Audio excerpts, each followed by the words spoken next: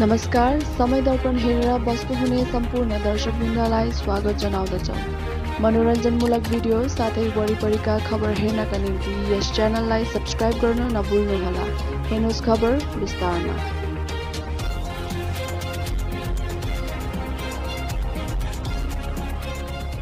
नमस्कार।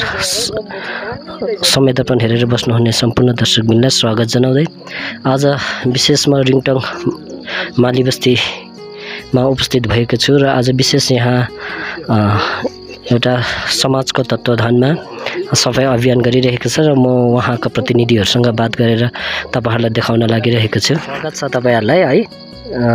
र विशेष आजको यस प्रोग्रामको बारेमा है केही जानकारी दिनुहोस् न। र साथै तपाईँको परिचय पनि पहिला। एमके राई माली बस्ती। र आज हाम्रो विशेष गरेर गाउँ सफाइ अभियानको आज दोस्रो दिन हो। हाम्रो कन्टिन्यू यसरी गाउँ सफाइ अभियानको चलिरहेको छ।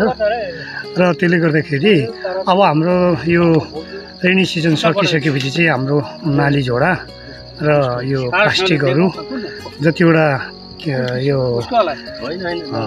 पानी जमिएकोहरू यो नालीहरू सबै यो गाउँ सफाइ अभियानभित्र नै आज हामीले यो कामको लागि चाहिँ समाजको सरस्वती परिवार समाजको तर्फबाट चाहिँ आज हामीले माली बस्ती जिरोदेखि चाहिँ हाम्रो माली बस्ती गाउँ समाजभित्रसम्म चाहिँ हामीले आज सफाइ अभियानको कार्यक्रम राखेका छौँ।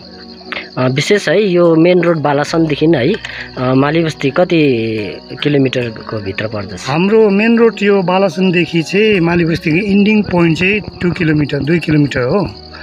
हामी एक किलोमिटर चाहिँ सफा गर्छौँ अनि हाम्रो अर्को समाजको तल्लो हाम्रो भाइहरूको समाजले फेरि उहाँहरूले फेरि गरेर लान्छ। टोटल गाउँ चाहिँ दुईवटा समाज भएर चाहिँ हामी यसरी नै हाम्रो यो विजय दशमीको अ, अघि अघि चाहिँ प्रिपेरेसन चाहिँ हामी गाउँ सफाइ अभियान चाहिँ हामी हर साल नै गर्दै आएको छौँ।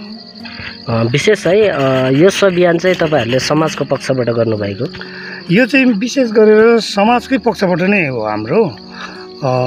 डिपार्टले जतिबाट पनि प्रोजेक्टहरू बाटोघाटोदेखि लिएर इत्यादि जब डिपार्टले हामी गाउँ गाउँलेहरूको लागि दिने गर्छ तर यो प्रोपर्टी चाहिँ जब दिइसकेपछि चाहिँ प्रोपर्टी चाहिँ गभर्मेन्टले दिए तापनि हाम्रो निम्ति हो नि त। र यसले गर्दाखेरि चाहिँ यो प्रोपर्टी बाटोघाटो सामाजिक भवनहरू सार्वजनिक हलहरू ग्राउन्डहरू एभ्रिथिङ हाम्रो यो एसेटहरू चाहिँ हामीले नै संरक्षण गर्नुपर्छ भन्ने चाहिँ हाम्रो गाउँमा एउटा सोच हामीले मिटिङमा नै हाम्रो गाउँको सदस्य समाजको सदस्यहरूलाई चाहिँ यो नै हामी एडभाइस गर्छौँ। एउटा भनाइ छ नि घर सुध्रिए समाज सुध्रिन्छ समाज सुध्रिए देश सुध्रिन्छ है। तपाईँको विचारमा के लाग्छ? समाज जागरुक हुनु कतिको आवश्यक छ अहिलेको समयमा? हेर्नुहोस् हामी एउटा सामाजिक प्राणी हो। त्यसले गर्दा हामी बिना समाज त एक सङ्गत बिना हामी बाँच्नै सक्दैनौँ। त्यसैले गर्दाखेरि नै मानिस जातिलाई मान्छेलाई सामाजिक प्राणी पनि भन्ने गर्छ। र सेल्फ डिपेन्ड आफू बाँच्नु र आफ्नो घर बनाउनु खानु त हाम्रो त्यो त एउटा जीवनको आधार नै हो बचाइको आधार हो। तर हामीले आफू बाँचेर पनि गाउँ समाजलाई केही छाप छोड्नुपर्छ केही दिनुपर्छ। मेरो सहयोगले मेरो कन्सेप्टले मेरो सोचले अर्कोको भलो होस् अरू कसैको सोचले उहाँको विचारले चाहिँ मेरो भलो होस्। यस गाउँ समाज चाहिँ यसरी नै चल्ने गर्छ र त्यही कारण चाहिँ आफू सुध्रिए चाहिँ गाउँ सुध्रिन्छ गाउँ सुध्रिए चाहिँ समाज सुध्रिन्छ। यसरी नै समाज सुध्रियो भने मात्रै एउटा देश सुध्रिन्छ भन्ने अब हामीले सुन्दै पनि आएको छौँ देख्दै आएको छौँ है। जस्तै अब एउटा समाज है अब हरेक चाहे सुख कार्य होस् दुःख कार्य होस् समाज त अगाडि आइरहेको हुन्छ है। र त्यो बाहेक समाजले के के चाहिँ गर्न सकिन्छ जस्तो लाग्छ तपाईँलाई? समाजले गर्नुपर्ने एकदमै ठुल्ठुलो कुरोहरू त अब खासै समाजले गर्नु नसके तापनि बुनियादी सुख सुविधाहरू गाउँलाई जो चाहिँ सरकारको पक्षबाट चाहिँ जो त्यो उपलब्ध हुँदैन जो सहयोग फिजिकल्ली सहयोग है एउटा हाम्रो जो गाउँले एउटा संस्कार छ त्यो एउटा समाजले दिनुपर्ने हाम्रो कतिवटा गाउँभित्रको समाजले बनाएको रुल्सहरू हुन्छ जो चाहिँ सरकारको सिड्युलसँग त्यो पर्दैन है? समाजले चाहिँ गाउँको बासिन्दाहरूलाई हाम्रो यो भारतको नागरिकहरूलाई कतिवटा सुख सुविधाहरू दिने गर्छ।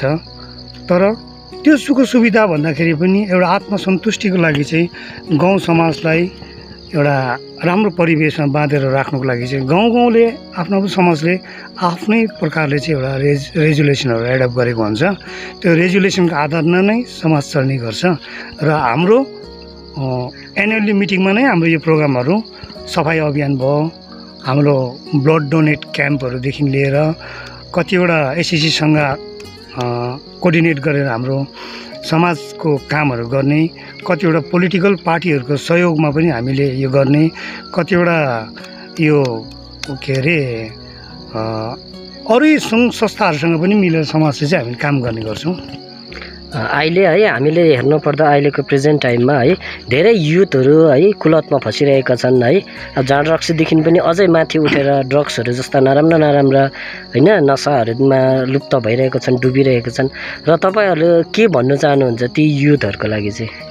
युथहरूको लागि मेन चाहिँ मोटिभेट चाहिँ यही हो जुन हामीले आज यो सफाइ अभियानहरू गर्दैछौँ है समाजमा। यो जुन कुरो एउटा घर बिग्रियो भने त्यो घरकै अब कस्तो स्थिति भएर जान्छ। समाज बिग्रियो भने घर बिग्रियो भने त एउटा परिवार बिग्रियो नि। तर समाज बिग्रियो भनेदेखि चाहिँ सौ घर बिग्रिन्छ। सौ घरमा पाँच छजनाको परिवारले पनि पाँच सौजना जस्तोको चाहिँ बिग्रिन्छ। असल व्यक्तिको सोच राम्रो भए तापनि समाजको राम्रो परिवेश छैन भने त्यो असल व्यक्तिको सोच पनि त्यो गलत नै कामै गर्दैन उसले। र त्यसले गर्दाखेरि गरिब किन नहोस्?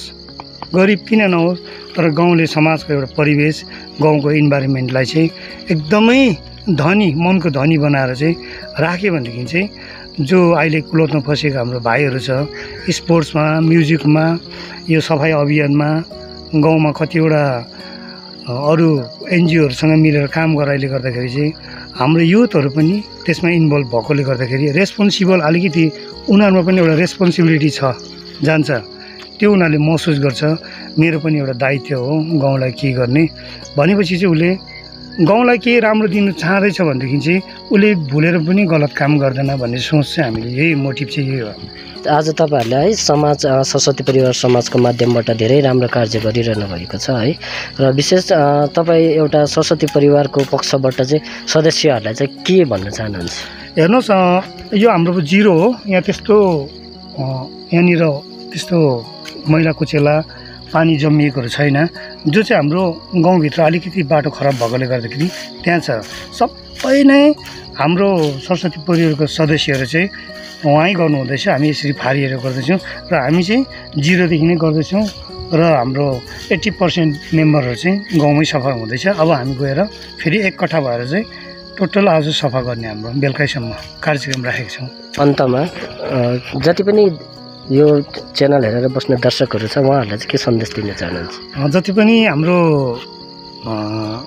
समय दर्पण सुनादा च्यानललाई हेरेर बस्नुहुने सम्पूर्ण दर्शकहरूलाई चाहिँ आगामी विजय दशमीको हार्दिक शुभकामना शुभेच्छा टक्राउँदै उहाँको यो च्यानलबाट धेरैवटा दुःख सुखको कार्यक्रमहरू पनि उहाँले प्रस्तुत दर्शाउने गर्नुहुन्छ। त्यसले गर्दाखेरि फ्यान्स फलो फलोवर्सहरूलाई पनि साथीहरूलाई सेयर सब्सक्राइब गरेर चाहिँ राम्रो राम्रो भिडियोहरू सन्देशमूलक भिडियोहरू चाहिँ सेयर गरेर चाहिँ सहयोग गरिदिनु न भन्ने चाहिँ मैले आशा राखेको छु र निवेदन पनि गर्दछु। धेरै धेरै धन्यवाद. तपाईँलाई पनि विजय दशमीको अग्रिम अग्रिम शुभकामना you. धन्यवाद। Thank you